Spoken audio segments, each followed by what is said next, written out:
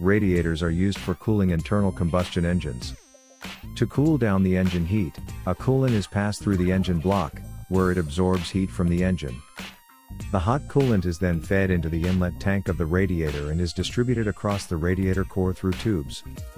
As the coolant passes through the radiator tubes, it transfers much of its heat to the tubes, which, in turn, transfer the heat to the fins, which are lodged between each row of tubes. The fins then release the heat to the ambient air. Fins are used to greatly increase the contact surface of the tubes to the air, thus increasing the exchange efficiency. The cooled coolant is fed back to the engine, and the cycle repeats. As the engine coolant heats, it expands, increasing the pressure inside of the cooling system. The radiator cap controls this expansion and maintains a constant pressure inside of the system. A cooling system generally has around 15 pounds per square inch, plus or minus, depending on the manufacturer. As coolant pressure rises, the boiling point also rises, allowing vehicles to operate at higher temperatures.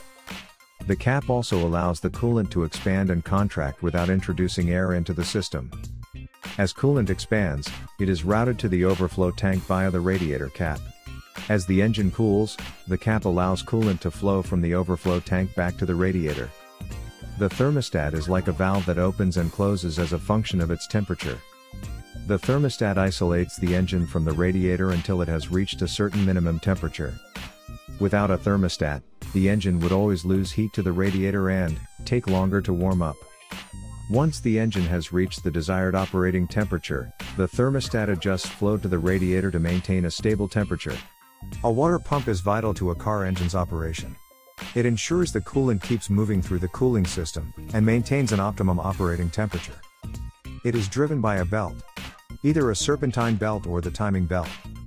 A car's water pump uses impeller blades and centrifugal force to circulate the coolant throughout the cooling system. Basically, the water pump's primary function is to circulate the coolant throughout the cooling system. The radiator fan, or fans, pulls cooling air through the car's radiator. Fans are positioned between the radiator and engine. Cooling fans are particularly helpful when the car is stationary, or moving at speeds too slow to force air through the grille. The advent of electric cooling fans, which turn on and off as needed, proved an improvement over engine driven fans that slow down exactly when they're needed most. Radiator and heater hoses are integral to your engine's cooling system. While both are comprised of the same material, soft, pliable rubber, each hose has a different function. Radiator hoses are connected to both the radiator and engine to direct coolant to the radiator so it can be cooled, and then back into the engine so it can maintain a certain temperature, preventing overheating. Heater hoses are used to transfer heated coolant into the vehicle's heating unit or heater core. Engine coolant, also known as antifreeze, is mixed with water to keep the radiator from freezing in extreme cold and overheating in extreme heat. Different vehicles require different coolants.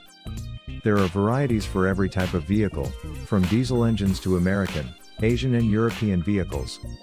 Each one is specifically formulated to keep its designated engine type running in extreme temperatures.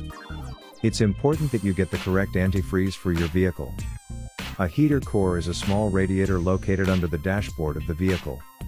It consists of conductive aluminium or brass tubing with cooling fins to increase surface area. Hot coolant passing through the heater core gives off heat before returning to the engine cooling circuit. The interior fan of the vehicle's ventilation system forces air through the heater core to transfer heat from the coolant to the cabin air, which is directed into the vehicle through vents at various points. An expansion tank, also known as an overflow bottle, is also used in the cooling system of most internal combustion engines, to allow the coolant in the system to expand with rising temperature and pressure. The tank is also called a coolant recovery tank, since it prevents venting and permanent loss of coolant, by allowing it to be sucked back into the cooling system as the engine cools.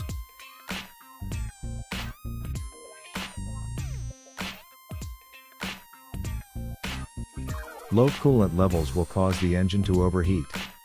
Low coolant levels can cause the engine temperature to rise while sitting idling at a red light or drive through for example, then drop to normal engine temperatures when you start driving again.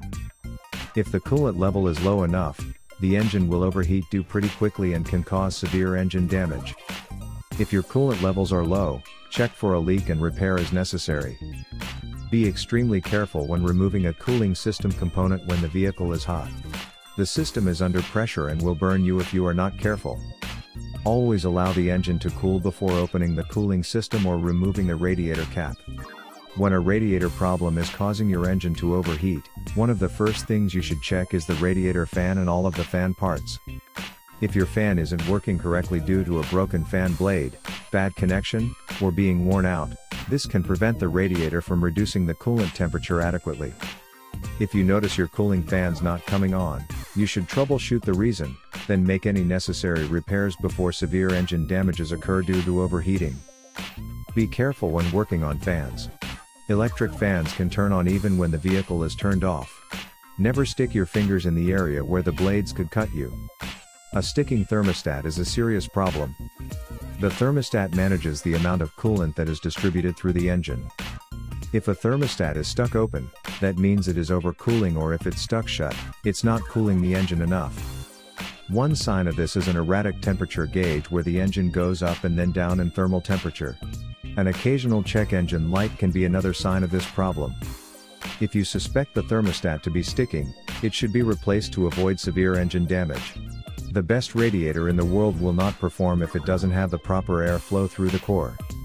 A visual inspection should be conducted to check for any debris that could be blocking the air flow through the radiator and condenser on most vehicles. The condenser is a part of the air condition system that resembles the radiator. The air flow must go through the condenser and radiator. Any restriction will cause improper air flow. As long as there is enough air flow through the radiator, the engine will stay cool.